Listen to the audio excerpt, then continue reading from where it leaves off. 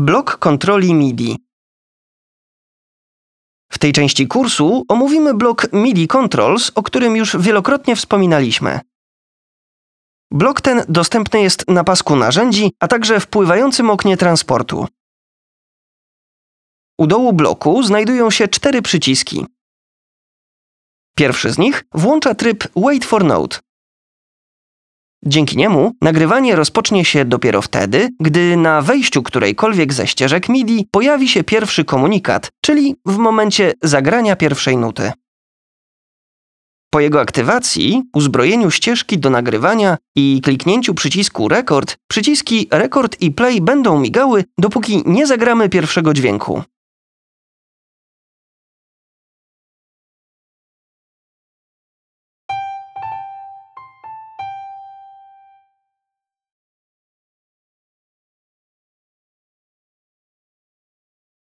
Drugim przyciskiem uruchamiamy opisywany już wcześniej metronom.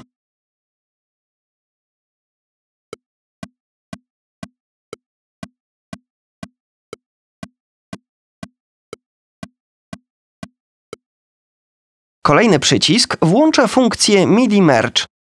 Jeśli przycisk jest aktywny, czyli podświetlony na niebiesko, możliwe jest dołączenie komunikatów MIDI do komunikatów wcześniej zapisanych na ścieżce. Zaprezentujemy działanie tej funkcji, tworząc prostą partię perkusyjną. Wykorzystamy do tego celu ścieżkę drums, na której uruchomiony jest instrument Expand 2. Poszczególne instrumenty zestawu perkusyjnego są przypisane do konkretnych dźwięków na klawiaturze fortepianowej. Na początku nagramy fragment dźwięków bębna basowego.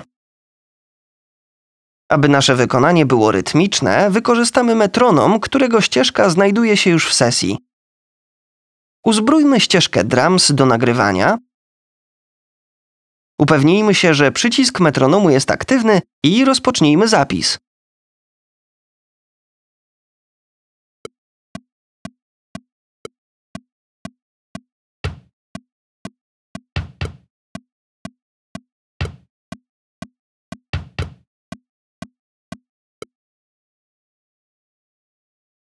Po zakończeniu zapisu partii stopy, cofnijmy się na początek nagranego fragmentu. Dogramy teraz do niego dźwięk werbla.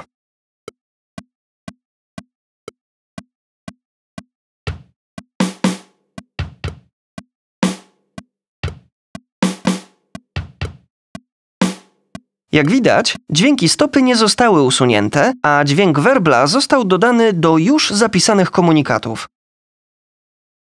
W ten sposób możemy nagrać cały zestaw perkusyjny lub dograć brakujące elementy do wcześniej zagranej partii instrumentalnej.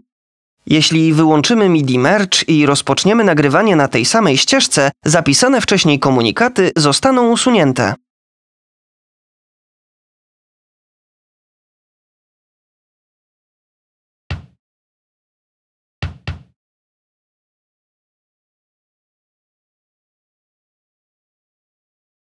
Ostatni przycisk, oznaczony symbolem dyrygenta, to konduktor. Przy włączonym przycisku wszystkie ścieżki, których podstawa czasu jest ustawiona na tiki, będą podążać za tempem zapisanym na linijce tempa. By zmienić tempo, wystarczy wybrać miejsce na linijce, a następnie kliknąć przycisk z symbolem plus, znajdujący się na jej początku. W otwartym oknie w polu BPM, określającym ilość uderzeń na minutę, wpisujemy pożądaną wartość tempa.